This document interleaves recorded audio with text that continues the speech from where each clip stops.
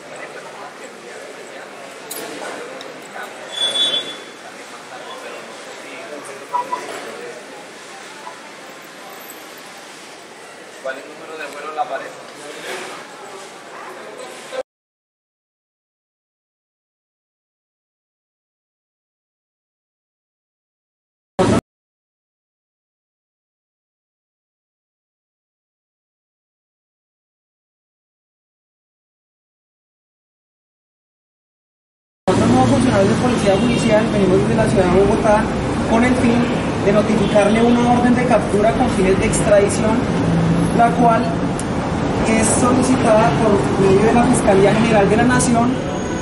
Esta orden de extradición es por el delito de narcóticos.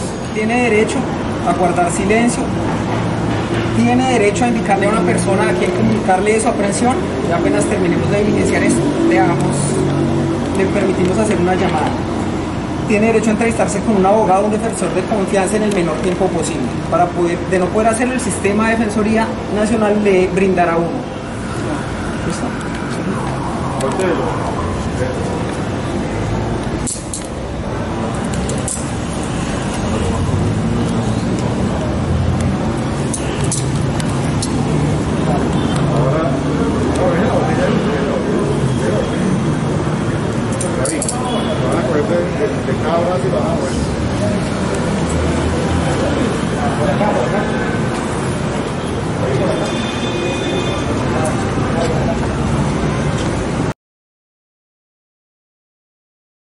Derecho a indicar la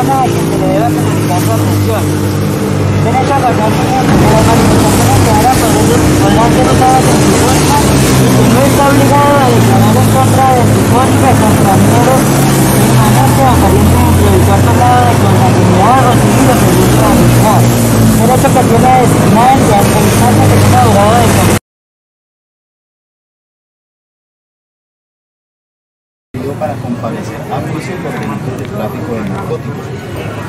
derecho a guardar silencio, que las manifestaciones que hagan podrán ser usadas en su contra y que no está obligado a declarar en contra de su cónyuge, compañero permanente o pariente dentro del cuarto grado de consanguinidad o civil o según de afinidad.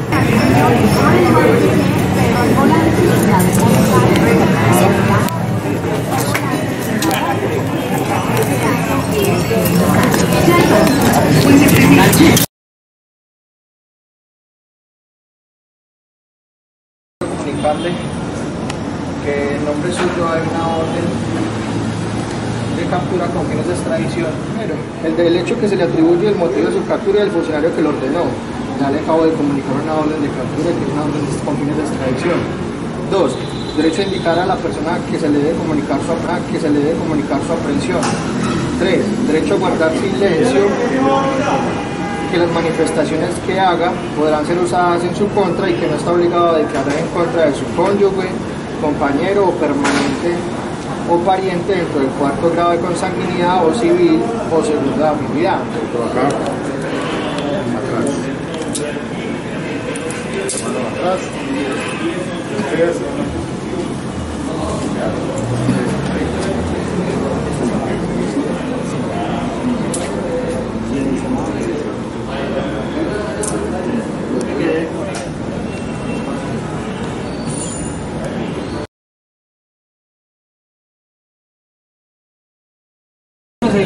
a notificarle una orden de extradición que se tiene en su contra por los delitos de tráfico de narcóticos.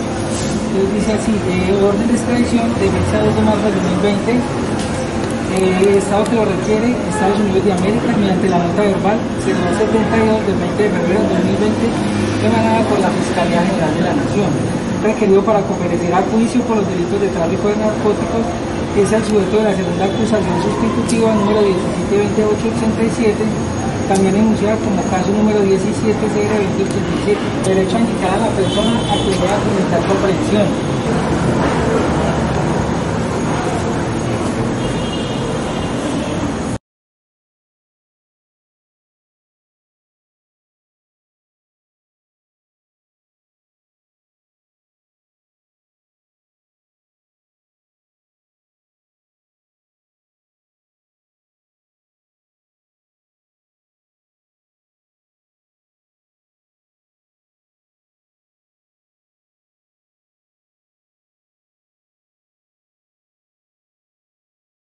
La operación Manatí permite a la Fiscalía General de la Nación, a la Agencia Internacional de los Estados Unidos FBI y a la Policía Nacional de Colombia, a través de la DIJÍN, dar un golpe contundente contra una organización del narcotráfico.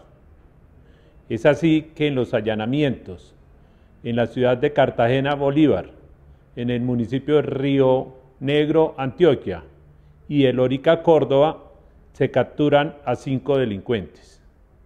Alias El Cura y alias Benco son los cabecillas de esta organización quienes por más de 10 años venían desarrollando esta actividad criminal pasando como empresarios navales. Es así que durante año y medio de investigación criminal, de seguimientos y de un trabajo de inteligencia y de investigación técnica, permite establecer el modus operandi. A partir de la experiencia de Benco, a través de la cartografía náutica, trazaba las rutas desde Colombia hacia Centroamérica y hacia los Estados Unidos para poder transportar grandes cantidades del alcaloide. En esta operación se identifica a tres individuos que se dedicaban a contaminar las embarcaciones. Y es así que también se establece la compra de un barco de bandera estadounidense que les permitía evadir las acciones de las autoridades y que en este trabajo interinstitucional e internacional nos lleva a identificar en el último embarque más de 1.200 kilos de cocaína. También se identifican varias bodegas en el puerto de Mamonal, en donde era el lugar de acopio del estupefacientes para poderlo transportar a Honduras y a Florida, Estados Unidos, en donde en la isla de San Andrés les permitía a ellos también por volver a restablecer, volver a tanquear estas embarcaciones y tener su destino final. Toda la operación nos permite identificar como una organización dedicada al